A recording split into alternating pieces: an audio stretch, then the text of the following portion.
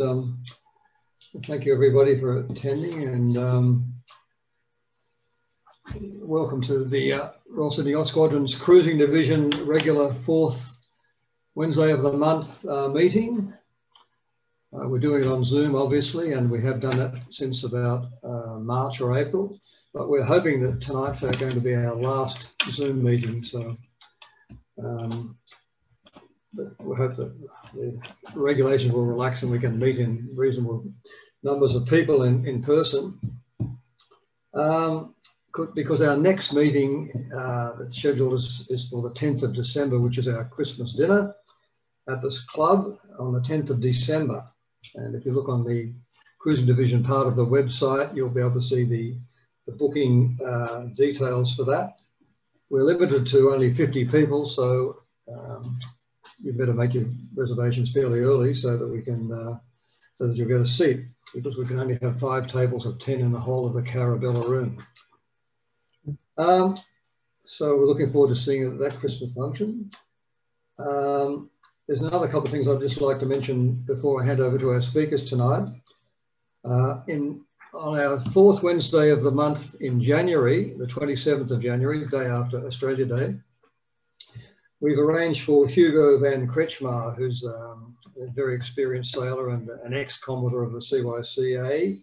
Uh, he will present his very interesting and lively accounts of his cruising in his big wooden trawler, which he's travelled all the way from Australia in. Uh, but he has cruised around the very top of Norway and the Arctic and Spitsbergen, uh, Iceland, Greenland, and uh, not only that, he's very good at um, videos and photography of rare things. So I've seen a little bit of that once before. It's a, a really interesting presentation. He's a, he's a, good presenter. So hopefully by the 27th of January, well, our, our COVID uh, regulations will be more relaxed and the club will be able to have slightly more people in. We're hoping to get, we'll have a dinner for that night and put 120 people in the Carabella room if all goes well. So we'll keep you posted on that, but uh, it should be a very good night.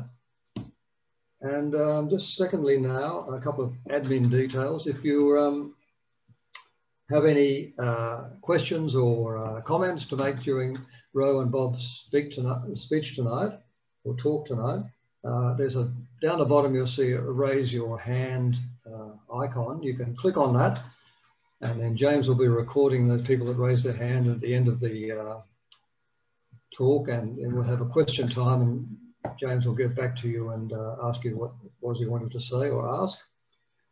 And uh, alternatively, there's also down there a chat function, which you can click on that and you can, if you wish, you can type in a question or a comment and we'll deal with those after the talk. Um, so now it's my pleasure to introduce uh, Rosemary and Bob. Um, Jill and I have been very fortunate to know Rowan and Rob for probably longer than we care to put a number on, but um, for a very long time, and we can definitely vouch for their cruising credentials. Um, in, until quite recently, they've always been intrepid sailors of sailing yachts. And they've had quite a few sailing yachts and they've covered a lot of ground in them in both Australia and overseas. Um, uh, in Australia, they would have sailed in a variety of boats from the very bottom, the southwest part of Tasmania, right around the east coast of Tasmania and across the top and up the east coast of Australia and every nook and cranny to probably, I don't know, far up in North Queensland. So uh, they've done a lot of Australian cruising and then they spent, I think it's 10 years um, in the Mediterranean with their Beneteau 50 and they covered a great deal of the Mediterranean from France to Spain to Italy. Um, they, they, know the Dalmatian coast of the Adriatic extremely well. And they've been to Greece and Turkey and um, they've got a lot of experience there. um, and in their spare time, they've managed to produce, I don't know, it must be, I haven't counted, it must be at least four or five coffee table books of their travels, which are excellent photographs and commentary. And Rosary's produced three novels. And Bob has written um, two volumes of his History of the World from the back of a boat, which I particularly myself enjoy as well. uh, I could recommend all of those books. But however, not so long ago, uh, Bob and Roe went over to the dark side and they bought a motorboat in Holland, the one you can probably see on the screen there at the moment. It's a very luxurious 50 foot steel, uh, beautifully equipped motorboat. And um, then they set up their adventures to cruise all the inland waterways and rivers and canals of uh, Holland, Belgium, and France. And that's what we're going to be talking about tonight from Bob and Roe. And um, I'll hand over to them now and let's hear the story. Thank you, David. Hello, you. everyone. Hello. Hi. Um, yes, well, uh, that's our story. In, in 2016, we're uh, sitting at a taverna in uh, Greece, and uh, I had about five years to run until I was 80, and Ro was threatening to uh, trade me in on a younger man at that stage. So we developed a plan of uh, selling the sailing boat and uh, going to and to buy a boat to do the French canals, basically. But after uh, looking at boats, we found that the, the best place to buy a boat was uh, Holland. So uh, at the beginning of 70 of uh, 17, we flew into uh, Sneek and uh, went to a great shed full of boats, which is a shed over the water, which most most of the boats in uh, the north of Holland spend winter in, under shelter, uh, in the water, but under shelter. Uh, so we went to Sneek, and uh, after looking at three or four boats, bought uh, the boat we fell in love with, which was uh, Lena, which is a 40 foot boat. I've exaggerated the size a bit. Five, 4.3 meters wide, and had an air draft of uh, 2.7 meters if everything was taken off, and 3.5 meters if the canopy's up. And those specifications will take you, allow you to go just about everywhere, and drew 1.1 meter would allow you go, to go anywhere in, uh, in, in Europe, basically. So, David, uh, can you hear us? It's just that our um, screen hasn't lit up with us talking, but can you hear? Loud and clear. Oh, I'm, seeing, a, I'm seeing a picture of the Watergate at Yes. Sneek at the moment. So we started our um, we we started our trip in Sneek, uh, which is in Friesland, um, and um, I'll just go back to the uh, to the map there. So Sneek is is um, is here. We we found um, pretty much found the boat on the internet, a little bit like we did with the one in the Mediterranean as well. Uh, and uh, we arrived on a Sunday morning, uh, and basically um, uh, Lena that we, we found her, as Rob said, in, in a uh, huge warehouse, and she was ours within in, a- in a day. And we, we, we set off uh, from Sneek uh, and up to uh, to head up north. But Sneek's a lovely, lovely town. If everybody anybody wants to go there, lots of lovely restaurants, um, and the, the people very friendly. A few to set up, uh, and uh, we were really. Uh, we had to set it from, totally from scratch. With there wasn't a thing on her, but there were shops there that we we could do that with. Um, so um, So our initial idea was to buy the boat and head down to France, but we soon fell in love with Holland, which is uh, a magnificent country and it certainly was neglected in my education as a kid, and I knew almost nothing about it. But it is a marvelous country, and um, it's uh, if we can get, just go back to the map a bit. mm, um, the uh, inland sea that you can see there used, used to be a big bay and it characterizes the, the uh, nature of, of the Dutch uh, personality.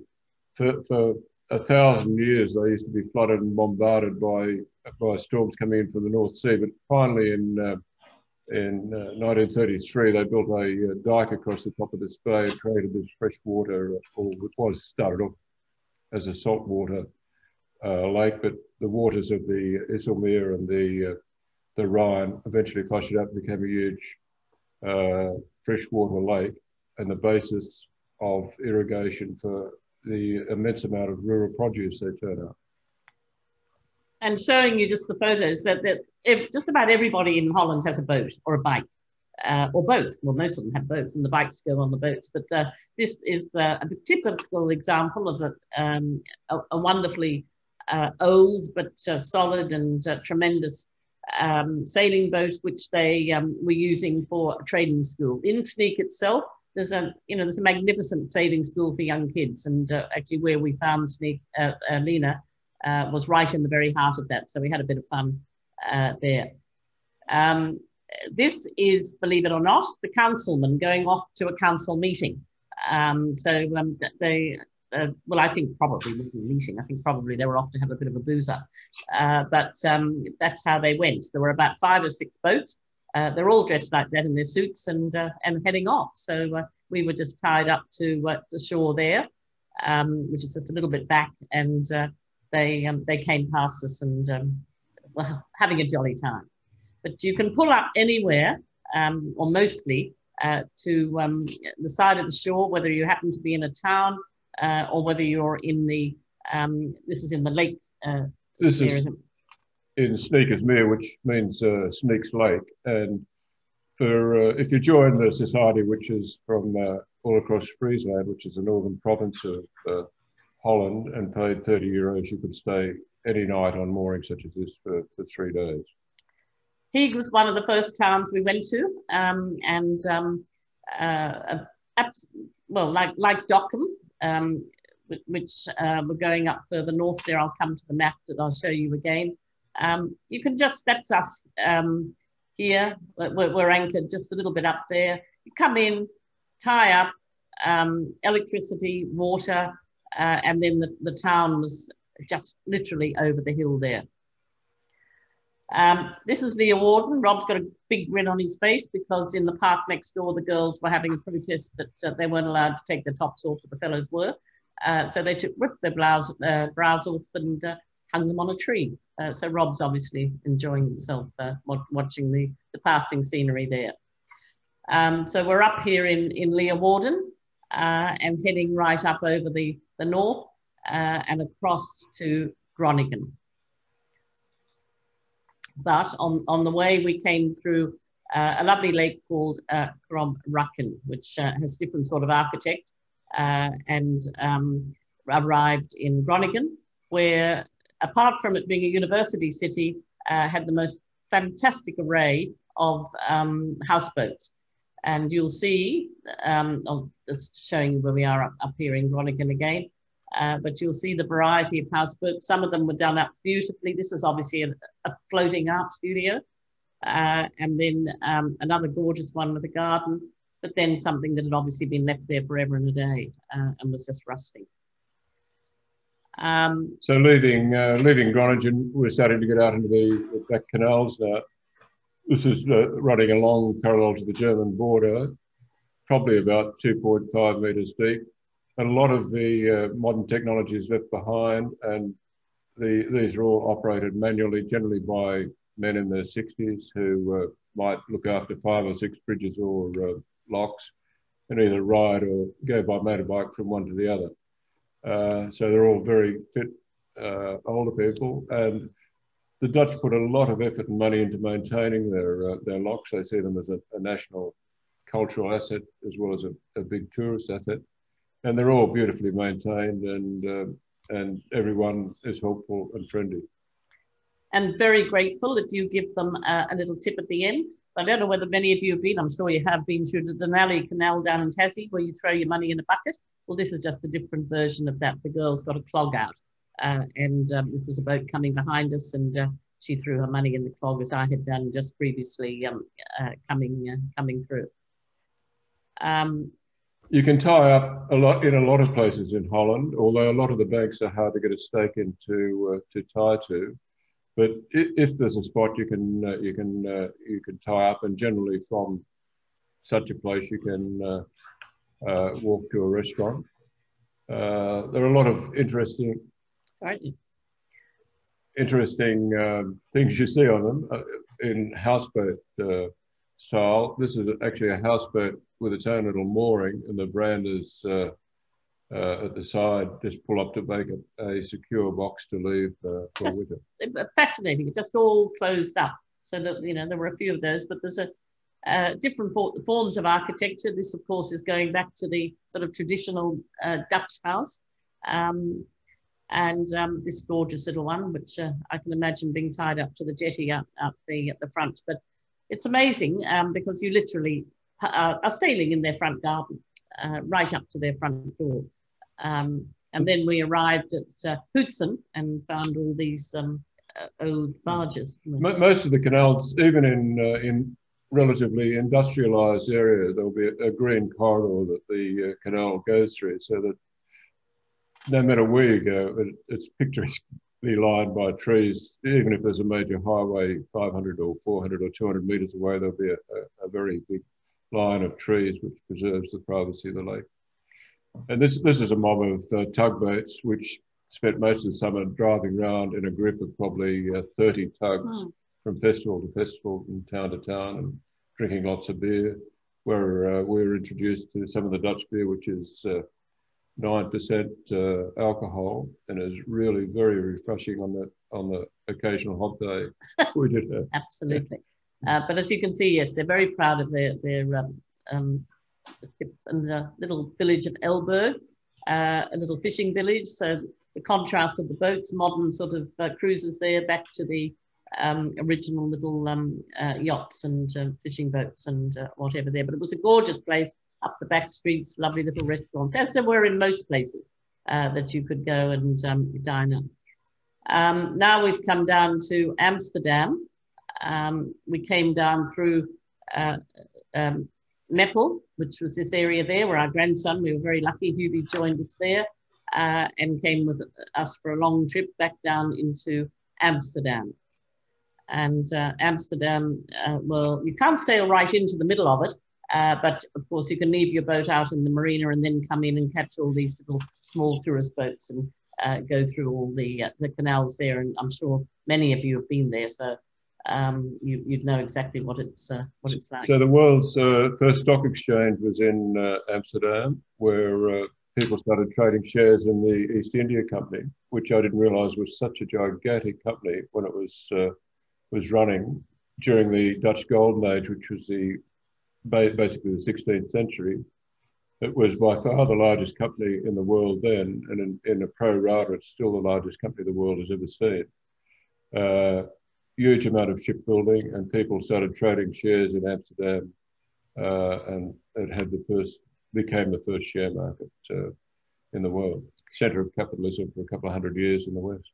And of course, the red light district, but uh, we did walk around a little bit at night. I don't think um, we actually found it operation. And, and, and that, that's not the photograph leaning too. There's uh, everything in Holland is built by brick. The roads, houses, everything. It's a very limited amount of uh, stone. Uh, but there is a lean on lots and lots of buildings, a lot leaning far more than the, uh, the, the, uh, the Tower of Pisa. And the Dutch have a thing with windows. As far as the Dutch are concerned, a window is an eye into your home, and they decorate their windows so people can look in and uh, and enjoy what they're seeing. In this case, the windows are uh, decorated by pretty young girls. That's right. Passing men to look at as they pass by. But um, in most cases, you know, there's, as Rob said, beautiful displays which uh, invite you in. We came down to Amersfoort, uh, which um, is a, um, a, well, it was a, just a, a, fabulous sort of fortress uh, town, wasn't it? Yeah. Um, where um, we walked in uh, and we had dinner uh, in this restaurant, one of the best meals that we've had. You look down over the canal. Again, there's the bike. Uh, there's bikes. Everybody goes by bike. Um, and in actual fact, um, I found uh, them rather scary because they go so quick uh, and you can't hear them like a car. Uh, and there was everybody on there, um, from 95 year old grandmothers to tiny little, you know, three or four year olds, but everybody goes around on a bike, um, which is, well, it was fantastic. So, so this town and a few of the others we've just looked at were, were actually seaports, but once the IJsselmeer Lake was formed, they're, they are probably uh, 15, 20 kilometres from the salt water. But they started off as seaports, but a number of them were members of the Hanseatic League, which is a, a, uh, a free trade society for, for, for uh, cities along the Baltic and that area of the North, North Sea, and became very powerful at the same time as the Dutch Golden Age we've left there now, and this this is into the Vecht River, the CHT, which is supposedly the EACHT, yeah, uh, supposedly the uh, most beautiful uh, river in Europe, uh, which is quite short. It flows uh, probably for 40 k's from the sea up to uh, Utrecht, which in ancient times was as far as the Romans got. But uh, what was fantastic for me is because I'm Irish, was born in Ireland, brought up there, and whatever, was that we came across this couple with Abyssal, uh, which is one of the very original old barges built in um, 1905.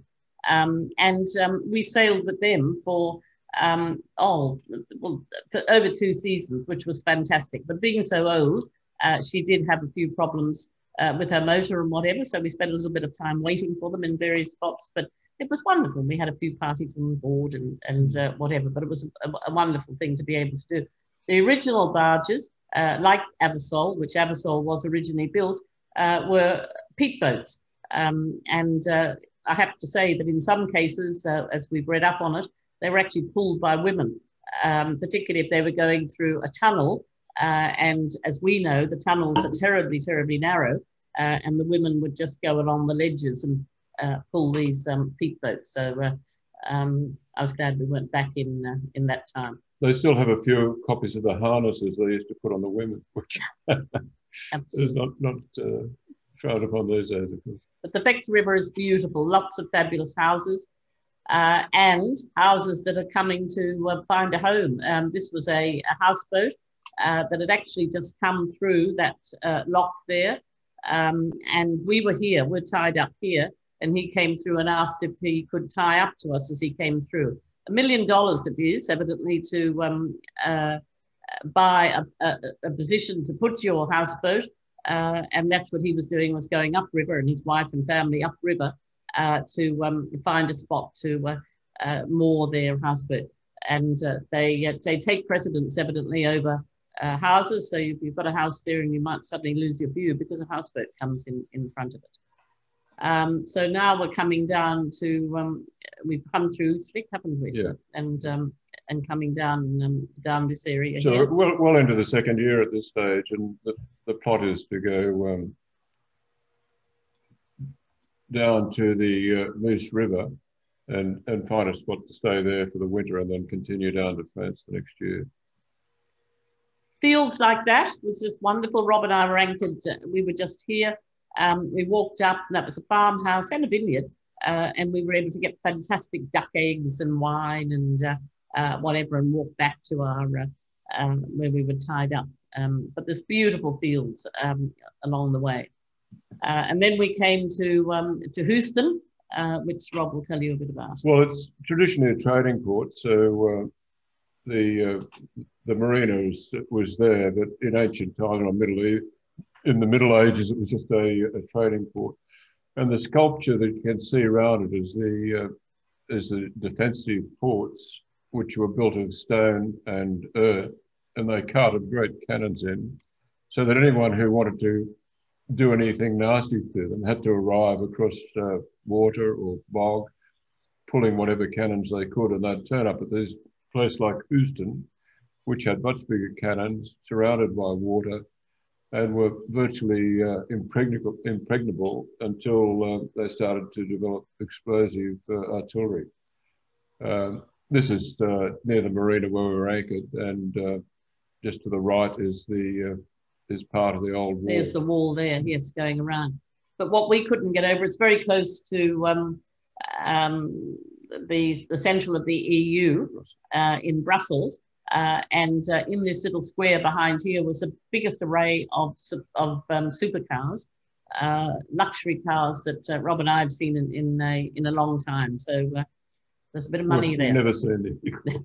That's right. Yeah. Um, and then after that, we went to a dear little place called Woudrichem, which um, reminded me of something like out of Africa or whatever. Uh, and uh, just as calm as anything. There were ducks, geese, and uh, it was it was just absolutely superb. At that stage, uh, friends of Tasmania that have sailed all with us all the way around Tassie and up the east coast of Australia uh, and the Mediterranean joined us uh, as we were heading down to to Maastricht. but tankers and um, tugs and um, these huge barges come and go very, very quickly. So um, you've got to keep your eye out um, for, for, them um, pretty much all the time. So go, going up the Meuse at this stage, you'd see one of these barges, which is probably that's probably um, three thousand tons, would be in sight nearly all the time. There'd be a barge uh, uh, somewhere. So you could say that these 3,000 barges were nearly as thick as trucks on the uh, Canberra to Sydney uh, highway. So, so and tremendous amount of stuff being carted up and down. What you actually can't see on this one is that they always travel with their car on the back as well. So when they arrive at the spot, they can unload their car. Big, getting into the big um, big locks there, Dave made a comment that he hadn't seen me putting any ropes um, we were looking this morning. I actually, I think I had just tied up there and Rob had come to join me. so some, some of those locks on the Meuse, there's a small one for the likes of us, and next door would be something which might be um, 300 metres long and uh, and uh, 30 or 40 metres wide. But uh, mostly you shared with the big ones, but sometimes you didn't. We're now in um, Maastricht, um, and that's where we uh, tied up right in the um, the very centre of uh, Maastricht. Maastricht, as I'm sure you all know, is the home of Andre Rieu. Uh, sadly, he wasn't home, so he didn't ask us up to have a cup of tea in his castle. Um, but uh, it's a beautiful town, and I actually sat in the square where uh, he has his um, yearly concerts, and uh, it was just absolutely superb. and um, you can see us um, here. Uh, and then that's the, um, the the bridge, which Rob will tell you a bit about. Oh, the bridge was built in 12, around about 1250, replacing a Roman bridge that had been there for a thousand years. So it's still used for um, for most traffic. Uh, I, I, don't think any of the large trucks are allowed over it, uh, and you're not supposed to drive under it. The um, the um, the access for boats is down the left hand side there, but um, and we went down through here and left Lena down in the marina, we down, yeah. down down the back there before we came back the next year uh, to head into um, head into Belgium. So this is the first lock in Belgium, uh, and uh, we realised that uh, it was a whole different kettle of fish with the the size of the locks. That there were some huge, huge ones uh, which we hit um, first as we we came in there. Um, this one, uh, we're on our own, which is most unusual uh, because normally you've got quite a few of the, the big barges in there with you, but uh, we, we had that one totally um, to ourselves. The industrial area we hit uh, pretty much first, so I was a little bit disappointed, thinking, "My God, this is Belgium," um, but um, we didn't uh, we didn't stay there. Um, well, it, it, it, went on and on, but we were lucky enough um, com- coming into here um, when I say lucky enough, it, it, it, um, it soon passed and we were into some of the most superb country uh, and in, into uh, to Liege, where we, we were tied up here and we managed to go and get our internet and uh, whatever was sorted out there. Uh, from Liege, um, again, we, well, we came out into the country and uh, thought we were doing brilliantly. Uh, I think I was about to have a glass of wine here when a fellow arrived on the end of the, of the side of the boat and knocked, got on board and demanded to uh, uh, see all our papers and uh, whatever. Uh, and uh, as Rob would uh, tell you in, in, in, Holland, isn't it? That, well, in Holland, you don't have to register a boat or pay for a skipper's license. If if it's under 15 metres, anyone over the age of about six can drive it. And they'd take it as a great affront of their liberties if someone tried to make make them pay for registering their boats. But in Belgium, they were absolutely alarmed that our boat wasn't registered, and uh, they threatened that uh, jail almost if we hadn't registered our boat within uh, within a week. So. Uh, and we were really only going through uh, Belgium fairly quickly, hoping, you know, go, going down to France. So, uh, but he um, he was certainly very, very officious. that's some of the beautiful country that we passed after leaving the industrial area and Liege, um, and was absolutely stunning. The um, the countryside uh, that we um, that we went uh, past there. A lot of money, and it's hard to know where it uh, it comes from. We think it perhaps came from uh, from the um, the Dutch Congo, but uh, where a lot of money was stolen off the people. But uh, anyway, we kept going, and this is Namur, which is another. All these towns along this stretch of the river have, have had lots of fortifications since uh, industrial times, and they all played parts in uh, World War One and World War Two, for that matter. The fortress behind is uh, was one of the uh, the first ones that the Germans attacked in uh, World War One, and um, it's actually where uh, where Julius Caesar is reputed to have lounged on his horse and surveyed things after he cleaned up the last of the the Belgian tribes in this area in, I think it was, um, uh, I guess in 70 BC or around that, uh, that period. As far, this is about as far north as Caesar got in uh, his conquest. More importantly for me, across this bridge, around here and into there was a great shopping centre. And I needed new shoes. So I've got some uh, shoes which unfortunately I've had to leave behind in, on Lena in, um, in Strasbourg.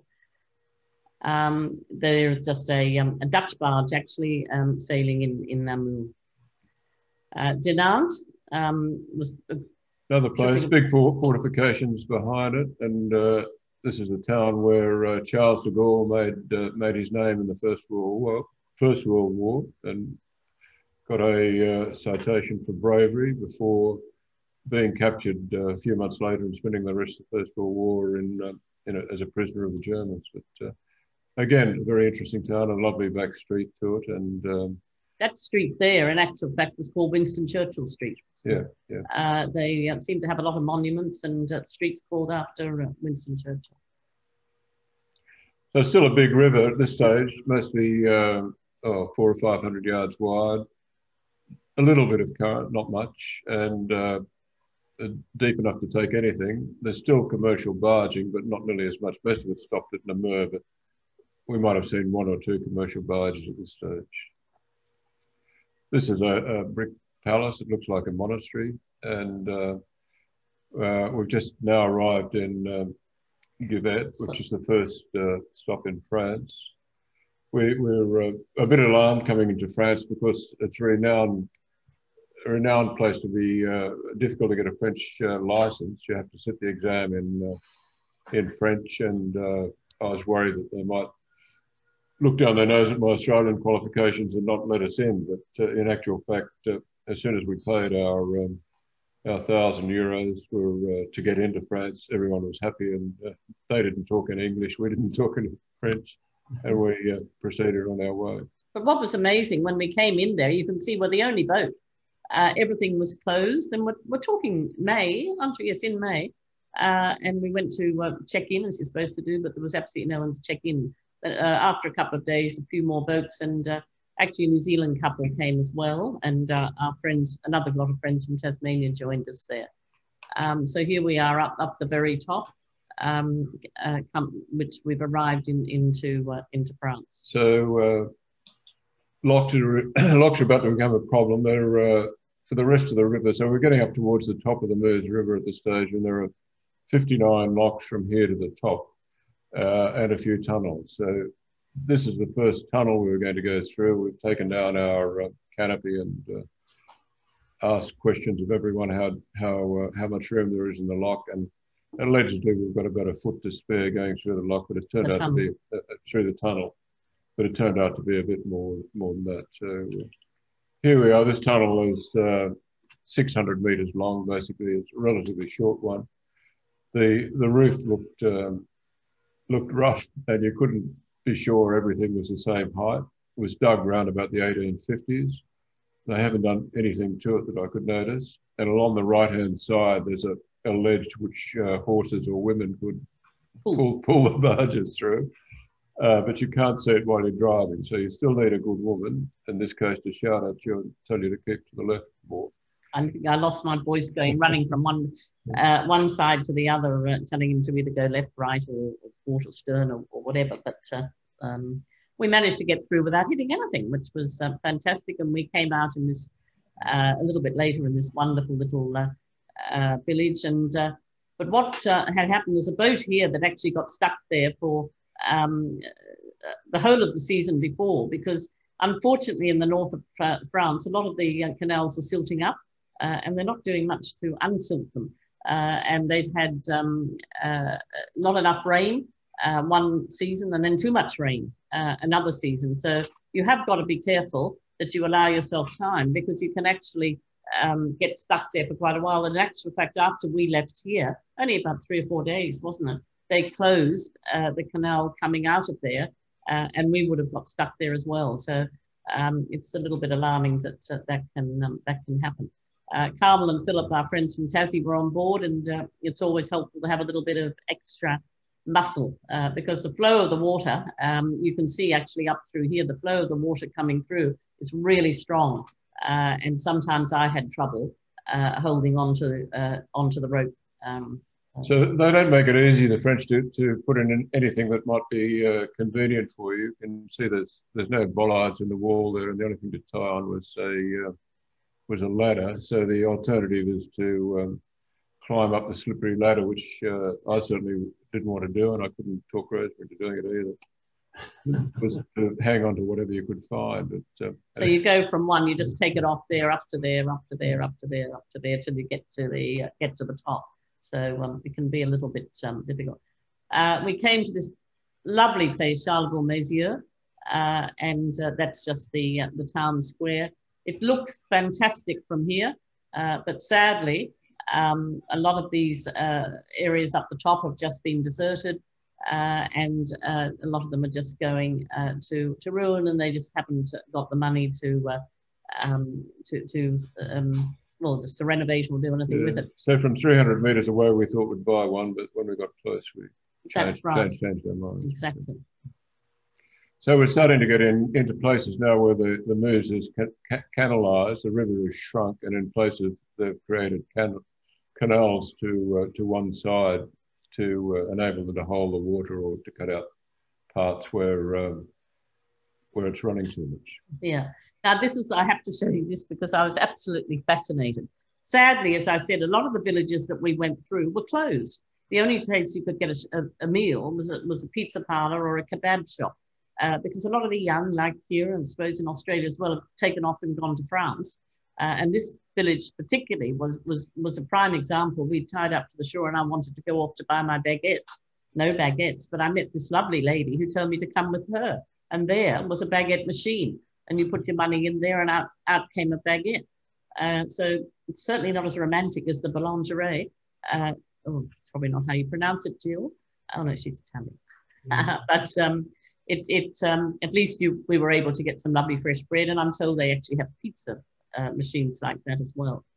Um, that was Stenay, um, which um, uh, a gorgeous, really lovely, lovely little town with markets, as, as most of the towns have traveling markets that go from one to the other. So we would follow quite often on. So this is coming into Verdun, which is a uh, obviously a, a, famous World War uh, One battle, one of the most bloody battles of the uh, the war. I think there are around about seven hundred thousand casualties on both sides. Um, and uh, so there's Verdun there. Sorry. Mm. Um, That's Verdun, yeah. Verdun there and uh, we tied up in the middle of town, which uh, some places were free in France, which often meant they were full with uh, boats that stay there uh, forever. But uh, this was naked and free, and it was only 100, 200 yards to the main street shopping, and we probably stayed there for 10 days or a week. I know, it was great. And, and behind us, you can't see it, was a New Zealand boat.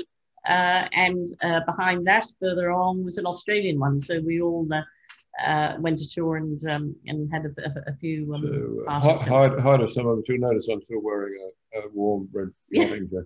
That's right. Um, the fortifications in um, in Verdun. Um, back out into uh, into the countryside. Into all right. So we're just about at the top of uh, top of the uh, the Meuse now, and uh, through this stage we're, we're scraping our uh, our bottom quite often, and it was uh, the water looks lovely, but it's quite weedy, and we need to clean our our water filter probably every two or three hours to um, to keep the engine cool.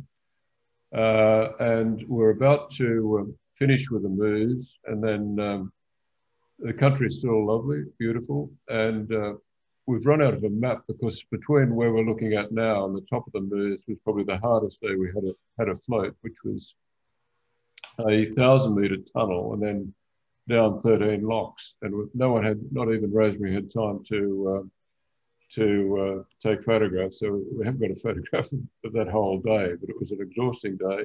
But when we finally uh, passed through the town of Toul and a couple of days later, we came onto the Moselle, which is uh, which was lovely. And very grateful again that Hubie, our grandson, turned up to uh, give us a little bit of uh, relief um, to um, go through a few of the locks and whatever. And he came with us uh, along this stretch uh, and down to Nancy. uh, which um, is really a magnificent town. It's got a huge amount of gold filigree and whatever stacks of restaurants, and um, it was just lovely. I, th- I, think it's number two in the in the listed uh, places to go in France uh, after uh, after Paris. Um, absolutely beautiful and friendly and lots to eat. And from actually from Nancy, we, we went to Paris because uh, we had a little bit of an accident with Rob's passport uh, where uh, it got dunked. Uh, so we needed to get a new passport. And uh, so we went down to uh, Paris and met up with my brother who was going to join us. And we had a lovely four or five days in Paris before Eugene came back with us. and we then sailed on with him and his wife from Nancy uh, out into the countryside. I just want to show you this because I think it's um, great for people that um, have visitors on board. In a lot of areas, there's bike tracks that go along the side. So if you've got somebody on board with bikes or wants to ride bikes or whatever, you can drop them off in one place and then um, meet up with them uh, down the track a bit. So uh, that, that's important to, uh, to know. So the, the canal we're on now is, uh, runs across France from uh, east to west, basically from the Marne River uh, across to the the Rhine, and this is the the tallest lock in France, which is 26, uh, 26 meters. So you drive in through a little tunnel and then into this. The manually um, operated. A lot of the a lot of the locks are automatic in France, but this was manual.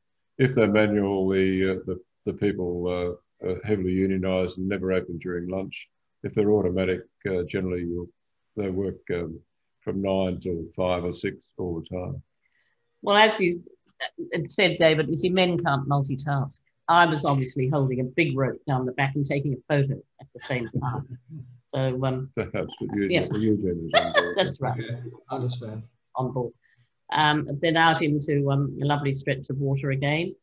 Um, do you want a, a, boat cache? We had to be careful here going through the lock um, because all the cats wanted to uh, to get on board, but we uh, had to um, sadly decline their uh, um, enthusiasm.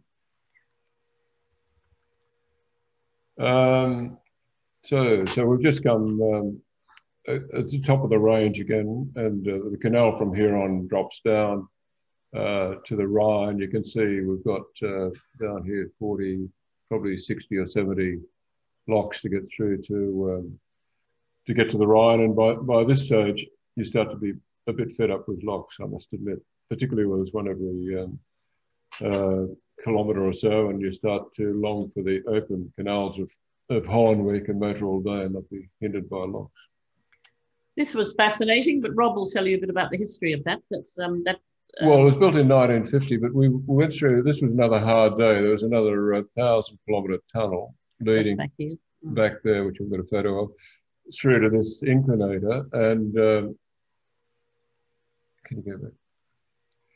This, this is a, a large trough, like a bath, which normally sits up there. So you drive into that and uh, they shut the door and you slide down to here. They open the door and you you sail out. And so that, that was 70 years old and the tunnel uh, 1850 uh, was uh, a bit over 200 years old, 250 years old. Right? Yes. Something yeah, absolutely incredible. I, I, um, I was fascinated by it uh, because know I've taken this from where Lena is here, just in there, uh, and looking down, and then we were going. We were, I think we're probably possibly even on the way down, being lowered down through here, uh, and then down into that uh, stretch of water down there. So the bird life Every, everywhere was uh, lovely the whole trip. It was one of the features of the trip. But here's one little, uh, which I'll run through quickly. I lost my heart to a, a, mother swan who flew up at dusk, had a look around, flew back down the river, and then the next morning as we are going out of a lock, I'm sure it was the same mother, uh, mother swan and husband and about a dozen chicks out into the, uh, the lock because the, the young ones couldn't fly. The mother wanted to get them up to the higher stretch of the river. So they used the lock, which I, I thought was quite intelligent. For, they, they came uh, with us. For noble birds, yeah. Yeah. That uh, was a beautiful little town. But again, sadly, um, the, the boulangerie was closed um, and uh, we tried to get a meal. Uh, we did eventually in a little pub up here, but uh, um, there wasn't much open at all. And we talked to the locals and they say, well, you know, fortunately, the, the young ones have um, have taken off. So we're into into the mountains there. They're the Vosges Mountains in the in the background. This was Lucerne, which uh, very much sort of Austrian architecture. Uh, and uh, we actually met up again with um, John and Jill, who were the uh, ones um, that um, we, we um, had met previously, who were on a boat with a, uh, a, share boat, which a number of people do. Uh, they actually share a boat with six other couples, and they take it in turns to have their uh, their time on on the on the boat. And that's John and Jill. There, we tied up to a, a lovely little area and sailed with them for uh, pretty much the rest of the trip down to um, down to Lucerne, and uh, and we made great friends, and they've just been to stay with us here. So uh, it's lovely that you feel that you can do that in the middle of France and uh, meet up with um, uh, like-minded people and end up being um, great buddies, which is fantastic. Um, so now we're coming into Strasbourg, um, and that was the first site of Strasbourg, but um, that's very much so, the head of the EU, isn't it? So Strasbourg shares the uh, governance of the EU with Brussels. I think they're either the legislative branch or the administrative branch, I forget which, but they move everyone there from Brussels for one week a month. And uh, they seem to have their own special train, which is Graffiti 3, Graffiti, Graffiti 3 and runs in full of bureaucrats um, and then takes them all back to Strasbourg, but to Brussels. But they've built a number of palaces like this one, which is. Uh, but fortunately, the old town still remains, doesn't it? The old town's beautiful, and the canals are, here are, are more beautiful than anywhere. I think it's, it's uh, has more feel than Venice or uh, Amsterdam, and uh, flowers everywhere, and uh, beautiful canals. And we had a number of meals in this uh, restaurant here, which were that's our as table. Good, as good as anywhere. And, it was lovely.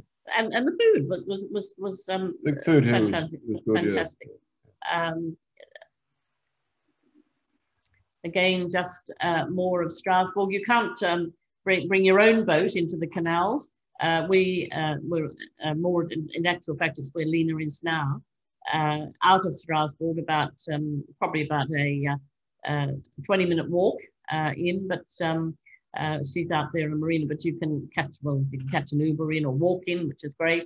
Uh, or they do have uh, tourist boats that take you around, which I did uh, with a, another friend of ours that arrived uh, and they take you all the way around, but they don't let you go into Strasbourg uh, with your um, with your own boat, which is um, is fair. Well, you wouldn't just get in under the bridges and, and whatever, but it is an absolutely beautiful town or city. Then we went up into the wine area, um, and uh, that is Riquewihr, uh, and uh, again magnificent architecture, uh, beautiful cobbled streets, restaurants, um, and vineyards that come right, right down uh, into um, the, the, villages themselves. And uh, it's in the Alsace, and of course, Alsace is, is known for all its wines um, and whatever. Um, fabulous architect. Uh, and they are talking, yes, the vineyards, uh, uh, all the stretch uh, between Strasbourg all the way along the Alsace is just absolutely chock-a-block full of, um, of, of um, vineyards. And there we are. Cheers and happy sailing.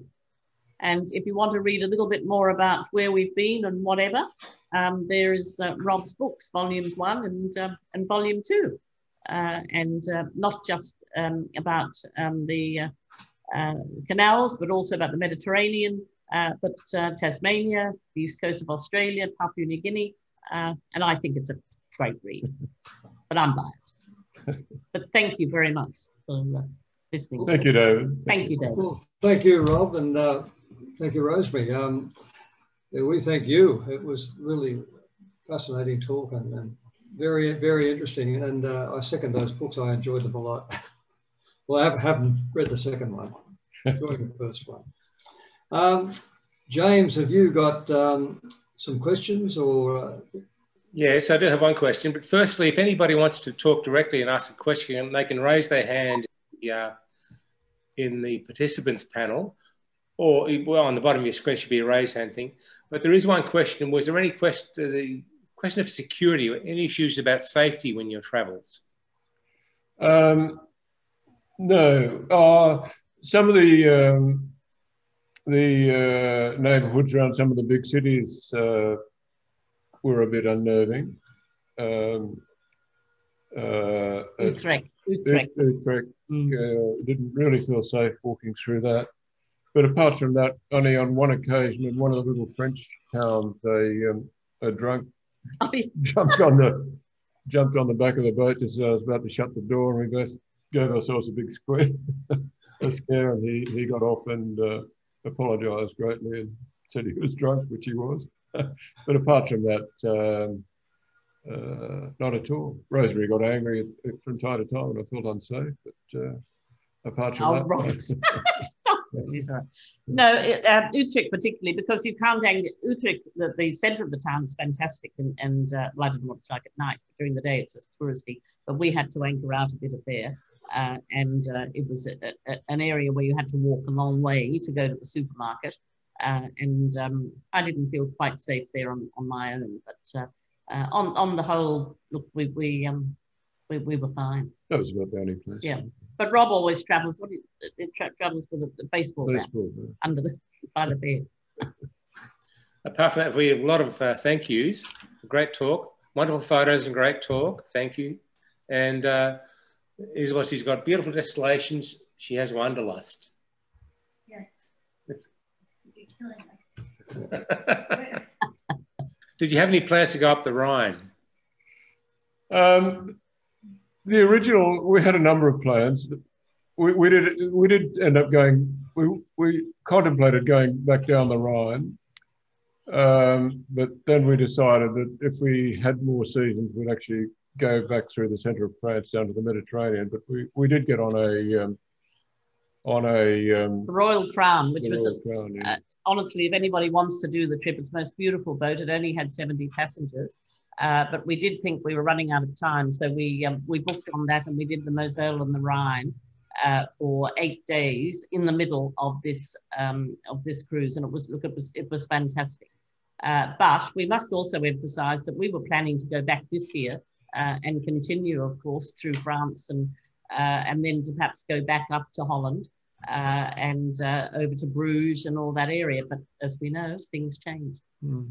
We always had, a, had a, an ambition to uh, to go up the Main and then down the Danube, but um, I, the older I got, the more I found I worried about mechanical failure, and that um, it's very hard to get mechanical assistance during uh, July, August. Everyone's on holidays, and uh, the last thing they want to do is uh, worry about some Australians whose battery's gone flat. On.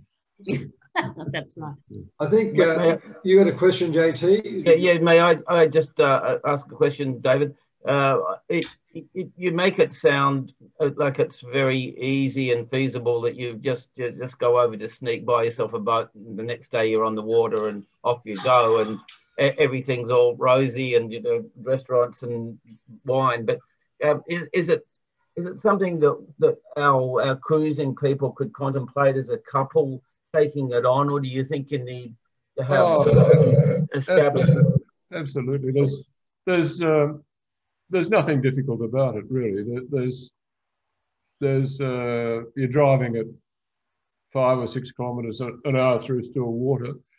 The um, the idea of the, the the locks are intimidating until you do one, but they're all operated on lights, and most people are are, uh, are, are pleasant. And uh, although the books say uh, you've got to give way to commercial boats, uh, quite often we'd be waiting there in a, a large commercial barge and say, well, you know, where you go, you got to first go in. So um, it would, would be helpful if you had a Dutch speaker, I must admit. But, but Yeah, then but they again, all speak English. No, well, but not, not everyone, but that, a lot do. Yeah. Yeah, much more than France, don't they? yeah. Much, yeah. much more than France.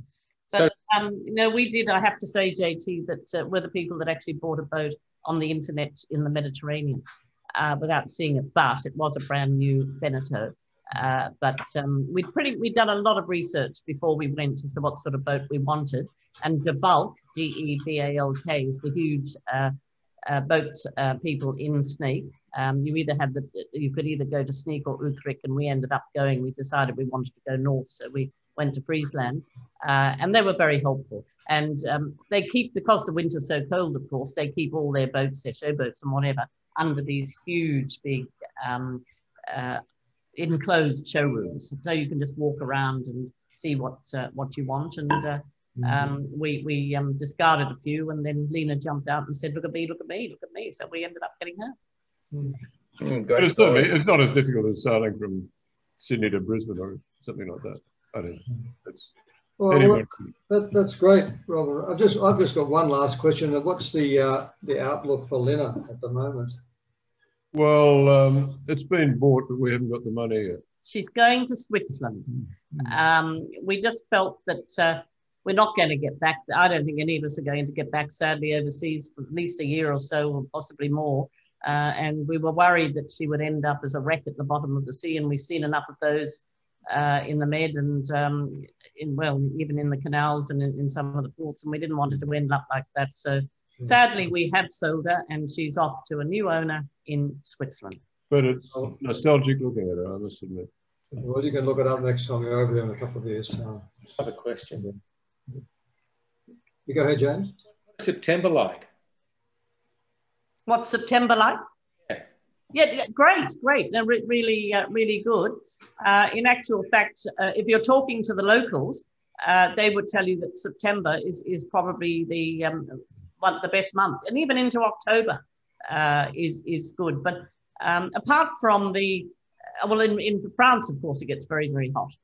but in Holland, uh, it's um, you've got to expect cold nights and and uh, the cold days, but then you might uh, end up. We actually ended up in May uh, having some of the hottest days of the whole season, and then it got cold yeah. again. A bit like Tasmania. But the, the Dutch Barge Association reckons that the French canals have probably only got another four or five years in them because there's just um, there's apart from the area where there's a lot of rental boats, there's very little maintenance done, and mm.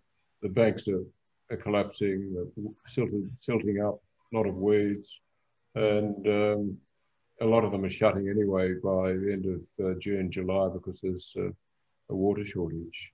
Yeah, yeah, but just lack of maintenance mainly. Well, it's their massive debt to GDP ratio in France is their problem, isn't it? No money. Yeah. Yeah. It is, but we're very glad we were able to do but, it. But as a facility, I think the French canals probably provide more for fishermen and uh, bicyclists and, and uh, yachts and coming up the Meuse, occasionally we'd only see two boats a day. Mm. Um, and we definitely saw more, more Kiwi boats than French boats, for instance. Um, but, so the days are numbered, unfortunately. Yeah. But then again, if you go down to the Canal de Midi uh, and down in that area, of course, it's much busier.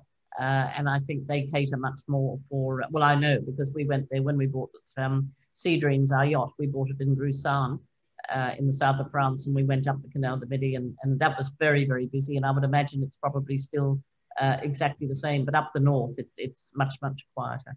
Uh, and, the, and the canals aren't uh, looked after as well as Rob says. Mm -hmm. But anyway, we recommended it, absolutely.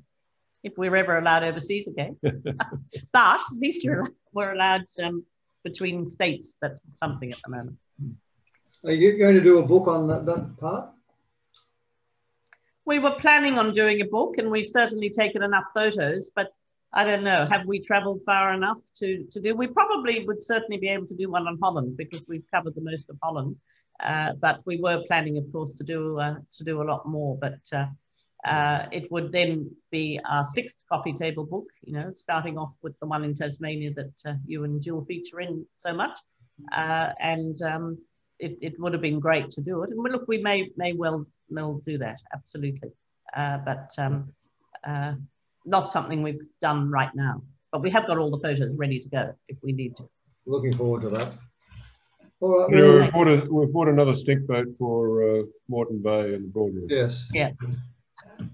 Never learn. That's right. Yes. No, it's, it's, it's tragic, really, isn't it? Going from a yacht to a, a stink boat. Dedicated stink boat people, I know now. We'll forgive you. All right. Well, look, thank you very much again, Rowan Rob. We better wrap it up. It's um, we've done, done the hour as planned. That's very nice, and your timing was perfect. Uh, the maps were clear, and, and, the pictures were wonderful. So, thank you, thank you once again. Thank and, you very uh, much. Thanks, JT. Thanks, uh, thank James. Uh, absolute pleasure. Thank, thank you, everybody, for, uh, for tuning in. If we'd been having this live, we would have presented you with a bottle of wine. So, oh. I'll I'll you want to you want to address the squadron wine and I'll hold it for you. We've got our glasses there, as you can see. yeah. We'll go and have one. Okay. Bye. Bye. Thank you. Thank you. David, Thanks again. David, just before we, we close.